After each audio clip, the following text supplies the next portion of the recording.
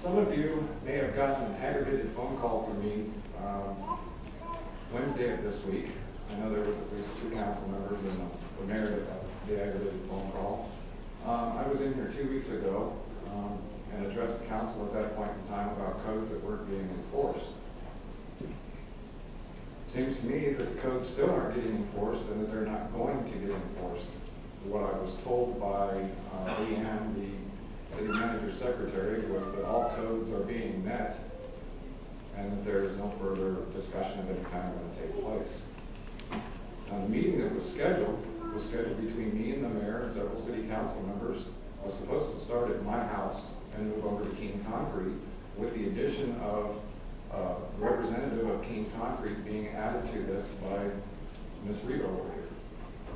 That was my understanding when I left the council meeting.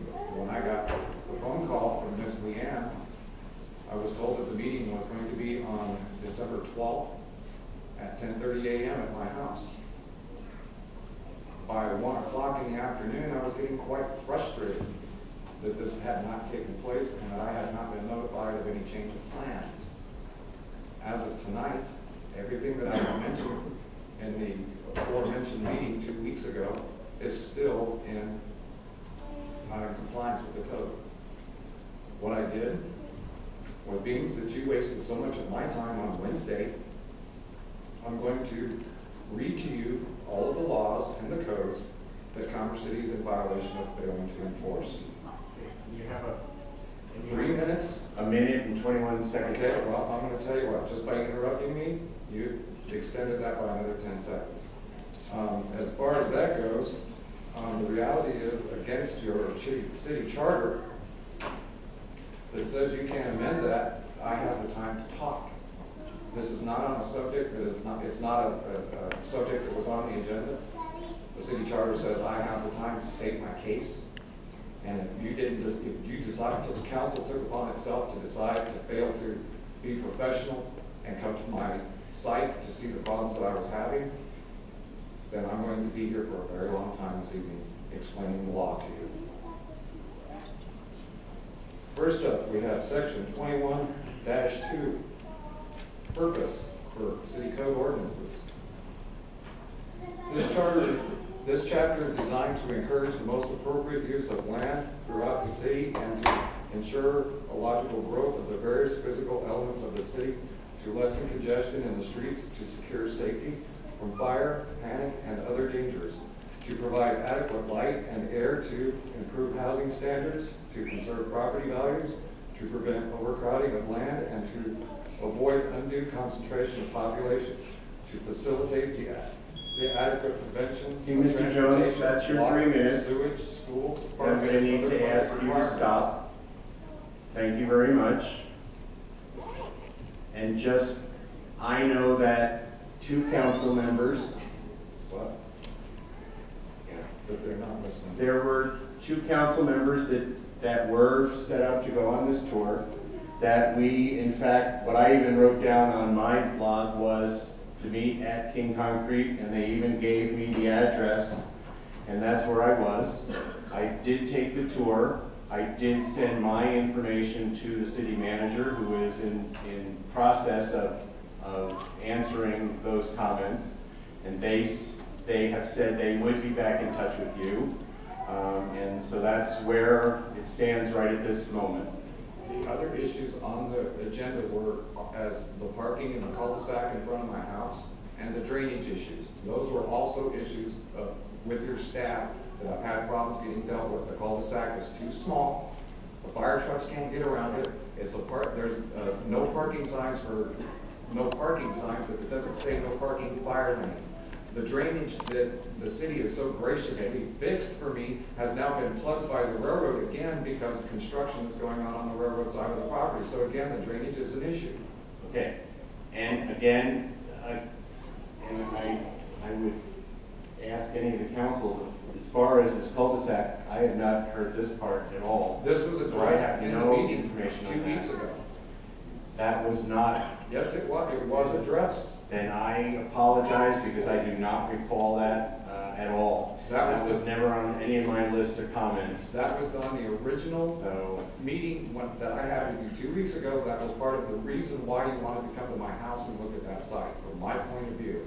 And I don't know why and how you guys ended up at King Concrete, it is beyond me. But I was the one trying to get the council out there so that they could see staff was not being completely truthful with right. Me. And, and we did, two of us did go out and, uh, and look at the site. Ms. Teeter?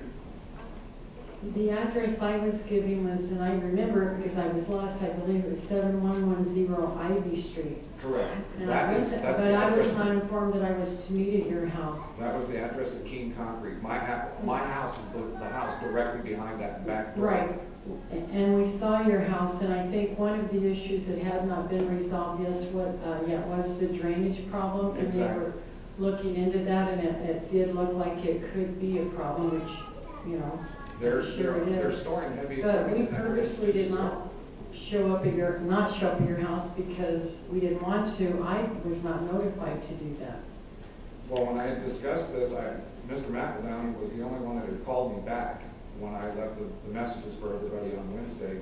And No, I you just- didn't call me though. I did leave a message for you. No. I did, I left it on your home voicemail, or the voicemail is on your, your business card. No, I I have my cell phone all the time.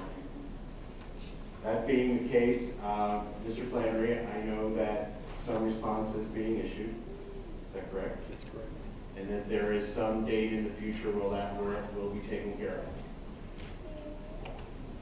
Mr. Mayor, members of council, uh, staff did, did go out there with council, visited the site. Uh, We will be bringing this back for the entire council in January, so that you can all get the same report that we, we put together.